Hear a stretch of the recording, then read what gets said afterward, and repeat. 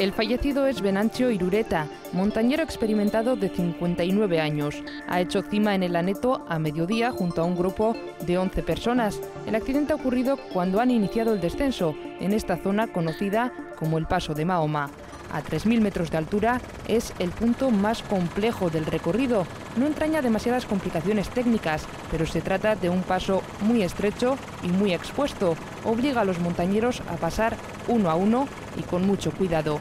Benancho Irureta lo había cruzado con anterioridad en decenas de ocasiones, conocía bien el recorrido. Hoy, sin embargo, ha caído desde una altura de 300 metros.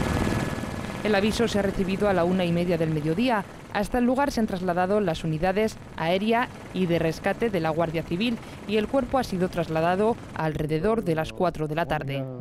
Nacido en Aizarna, pero vecino de Aspeitia, Venancio Irureta era un montañero de largo recorrido.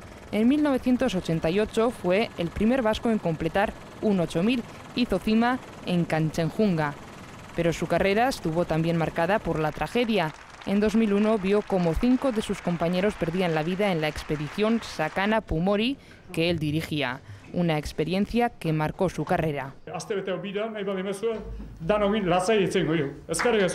Irureta era un referente entre los montañeros, especialmente para los jóvenes, a quienes solía impartir clases y talleres. Se espera que su cuerpo sea trasladado a Speitia mañana.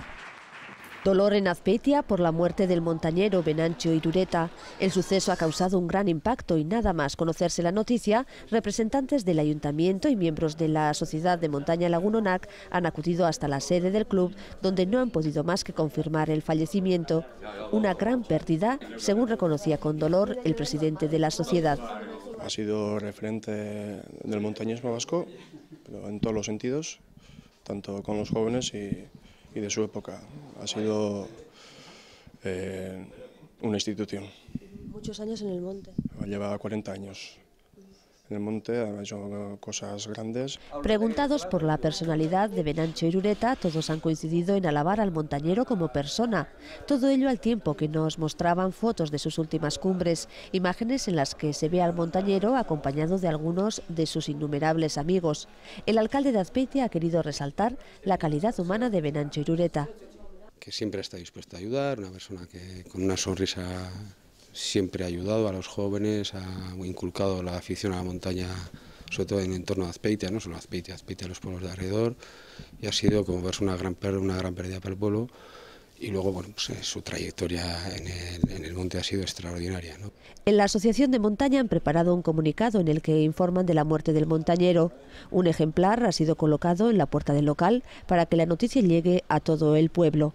Ahora quieren lograr que el cuerpo sea trasladado hasta Azpeitia lo antes posible para recibir así el adiós de los vecinos de la localidad.